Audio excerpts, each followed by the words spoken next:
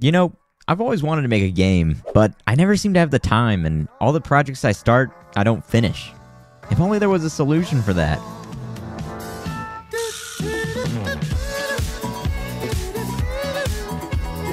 But wait, isn't making a game in 48 hours harder than making a game not in 48 hours? Not if you have a plan.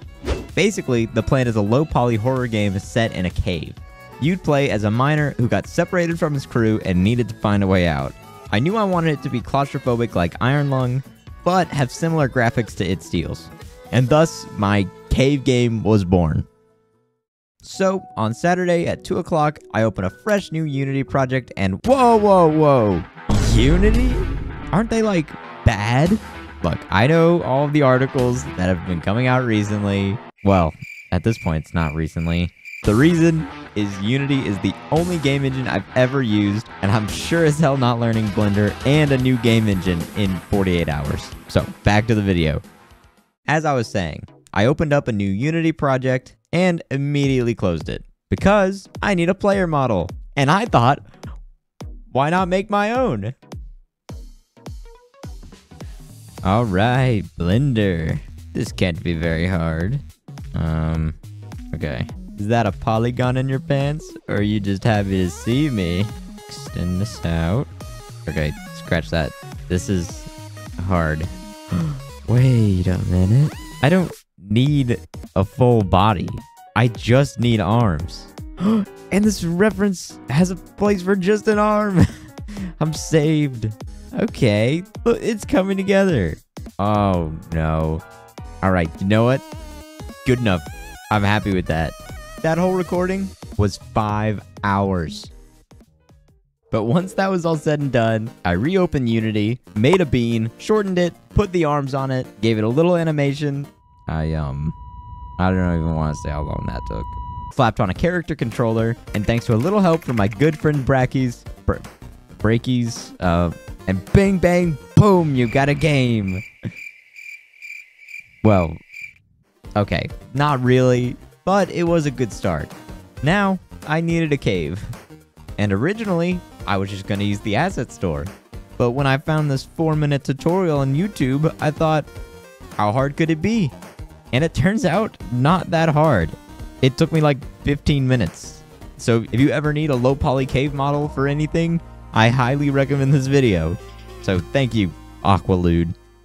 Now you might have noticed, the game looks pretty bad. But you want to know how to make a bad looking game look really good with minimal effort, old school graphics. Oh, this game looks like shit. No, no, no. It's just retro. Retro. Retro. Retro. But in all seriousness, I really do like the retro theme. So after adding some lights and the retro filter, the game was actually coming together. I was really happy with how it looked at this point. It definitely had the atmosphere I was going for. But it was past 2 in the morning and I was exhausted, so I decided that I'd start again on Sunday. what a beautiful Sunday morning. At the bright early hours of 11 o'clock, I got back to work. I started making the only weapon of the game, the dynamite.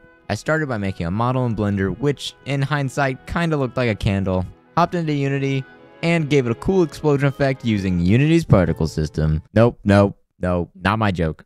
And at this point, the coding got way, way easier because I've never worked in a 3D game, and it turns out scripting 3D movement is very different than scripting 2D movement. You have to worry about things like quaternion angles. I still don't know what that is. But at this point, I had a pretty good idea of how to script things in 3D. After all that was done, it was time to get started on the thing I've been dreading the most the monster model. I'll let past me explain. Alright, now I kind of have an idea of what I want the monster to look like. I know I want something like those monsters from Kong Skull Island. They have kind of like a bone on their head and they only have two arms and a big tail. I feel like that would work really well for a cave because that's an issue I'm having is how to fit a monster. Now, I have a few sketches. I'm I'm going to show you. I just want to preface that I'm not an artist and I drew these while bored in class, but it'll kind of run you down my process of making this monster. Here we have version 1. Um, I was really going for body here Uh, we're just gonna go past that.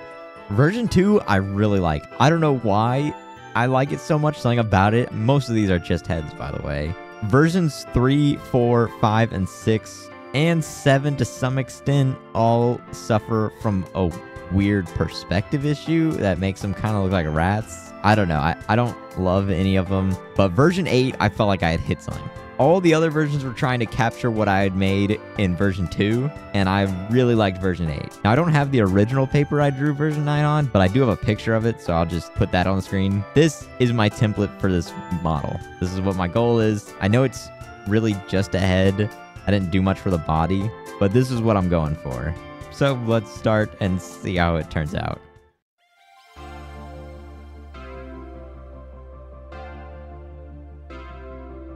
Okay, the head, it's looking kind of okay. It's not that bad.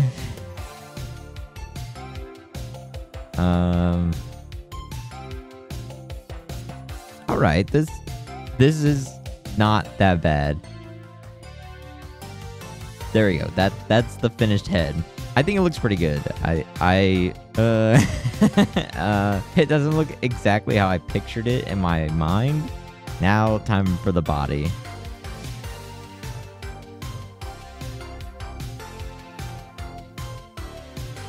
Oh my god, I have really messed up.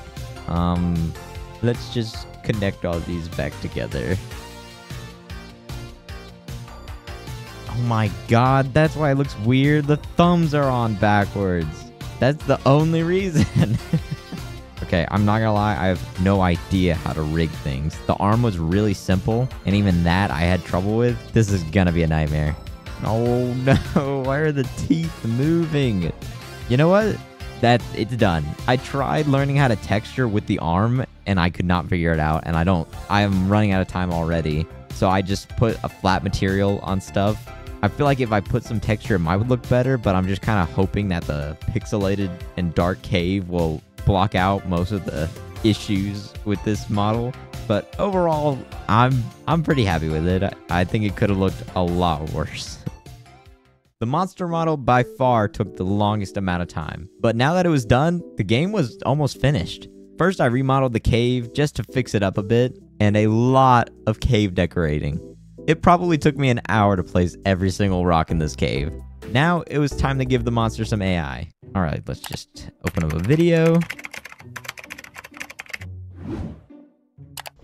On our scene, we're going to click Window, AI, and Navigation. And oh, so you just click one button. Um... So, um, they just got rid of the feature or it was a plugin I didn't install. Either way, I didn't have time to find out. So unfortunately, I had to concede and go to sleep. Just kidding. What, you thought I was gonna give up? No, I hopped out of bed and worked for another hour until finally it still didn't work. So all the attacks are scripted.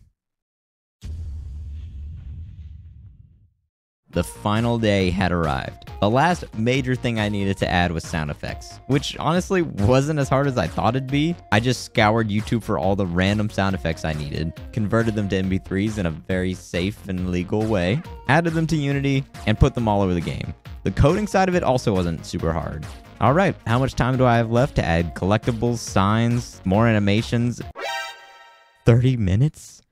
Never mind, I made a quick little start menu and end screen and exported the game for the final time.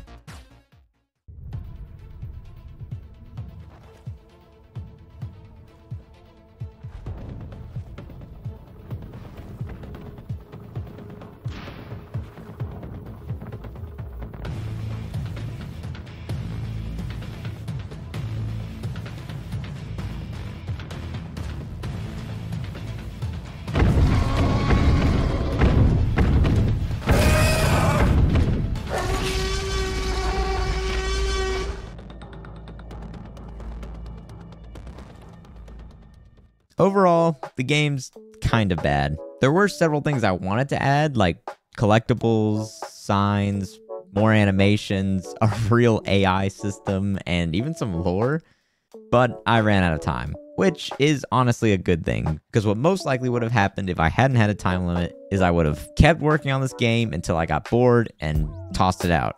But hey, if you enjoyed the video and want to see more, maybe I'll add some of those things I talked about or just revamp the game entirely. I also thought about making it in VR because who doesn't want to sit in a cave in the dark in VR? But hey, if you enjoyed this video, go watch the.